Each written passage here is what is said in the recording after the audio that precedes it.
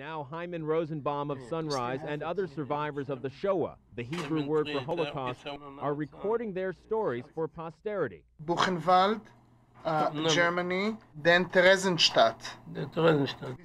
A volunteer camera crew comes to Rosenbaum's home. They're part of the Shoah Foundation, a group founded and bankrolled by the director of Schindler's List, Steven Spielberg. The organization's sole purpose is to record the experiences of Holocaust survivors onto videotape.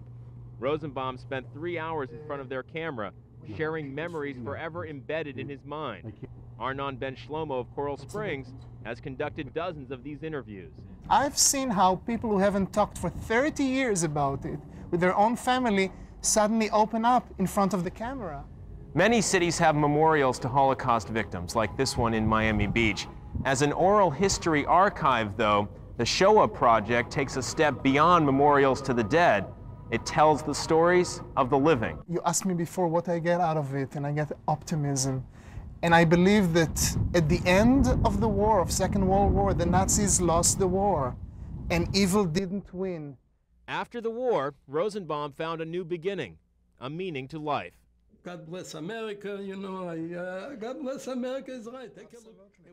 Hyman Rosenbaum is one of nearly 6,000 Holocaust survivors already interviewed by the Shoah Foundation, and thousands more have signed up to share their experiences with the world as well. In Miami, Ari Odzer, NBC6.